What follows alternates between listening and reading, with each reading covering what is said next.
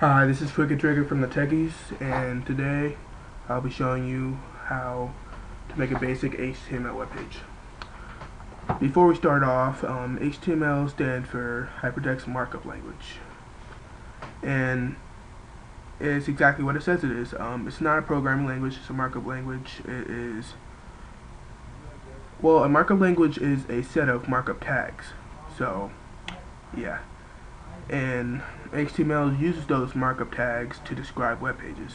So, not really programming language, but it is programming. So, um, let's get started. Um,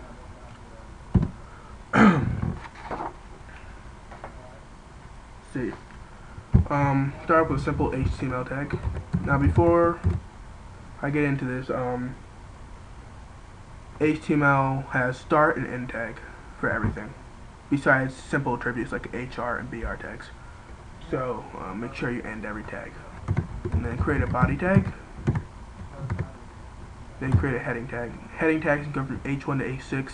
These are the most basic headings tags you'll ever use. So, But um, H1, that's the biggest.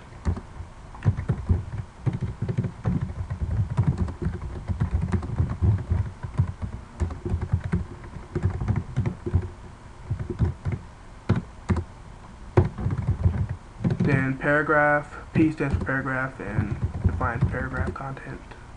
So whatever you put in between these tags is will show up in a paragraph.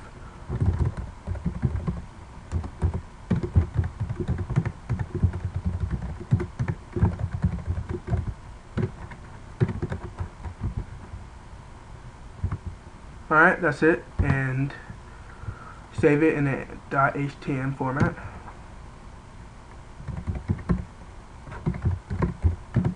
Name it whatever you want. It doesn't really matter. It's just in a practice thing. Then go to your documents and open up what you just saved it in. Yeah, that's what it looks like. Um, this is not amazing. It's just people who are starting out, like this is what programming is. You create the code and then it shows up in another window. So yeah, um, this is HTML. Now, I mean, every, but basically every web page uses HTML as their format, but this is like not even difficult at all. I mean, this, I mean, they're putting a start tag and then putting stuff in, in between it and ending it. It's not hard.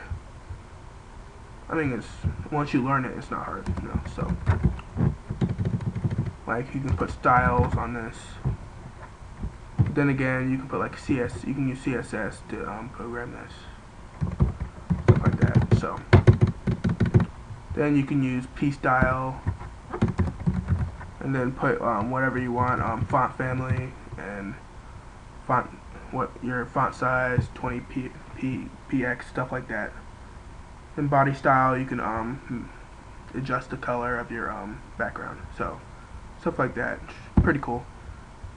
Uh, Trigger from the Techies, and hope you have a great 2010 and whatever. Yeah. So, see you next time.